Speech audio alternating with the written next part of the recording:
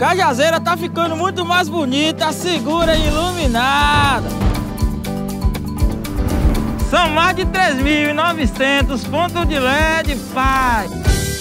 Mudou muito Cajazeiras depois dessa nova iluminação. Então hoje a gente se sente muito mais segura. Vocês vê as crianças mais na rua brincando, né? Aqui estava tudo muito abandonado. Com a bênção essa iluminação nova aqui em Cajazeiras.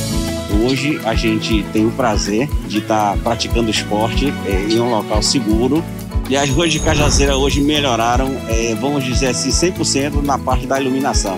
Hoje nós temos uma iluminação de LED, né? Graças ao trabalho excepcional da prefeitura, a gente tem que reconhecer isso.